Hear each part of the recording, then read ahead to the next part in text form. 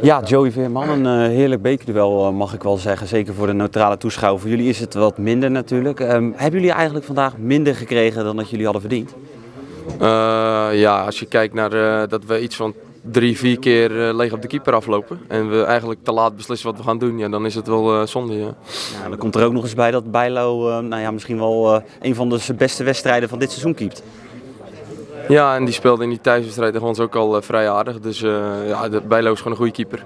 En uh, ja, dat schot van uh, Ejuke pakte niet wel echt heel mooi inderdaad in de eerste helft. Ja, je kon wel zien aan Herenveen. In het eerste half uur hadden jullie heel erg veel moeite. Daarna kwam er toch echt een Herenveen op de mat waarvan je zegt van nou, die willen er vol voor gaan. De, ja, jullie kregen eigenlijk, jullie waren misschien wel de betere partij de laatste 60 minuten.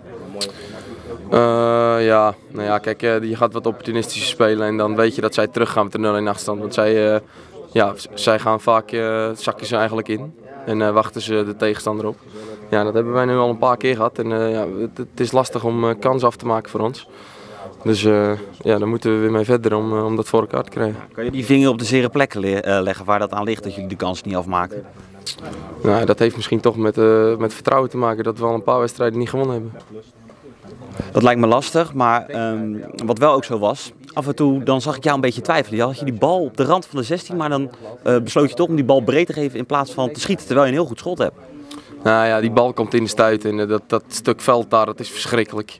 Er ligt alleen maar modder, dus uh, ja, als je dan, ik schoot één keer en die bal die raakte ik volledig verkeerd. Dus ja, dat, als, als ik dan schiet, dan, dan moet het wel echt heel veel geluk zijn, moet die, mocht die bal erin gaan. Ja. Heb je een, een, gevoel dat je bij jezelf denkt van nou met dit Heerenveen hadden we wel de finale kunnen bereiken? Ja, nou ja, kijk, uh, met alle respect voor NAC, maar uh, die hadden wij dan thuis in de halve finale gehad. En dan hadden we inderdaad uh, de finale kunnen bereiken. Ja, het lijkt me ongelooflijk zuur dit gevoel.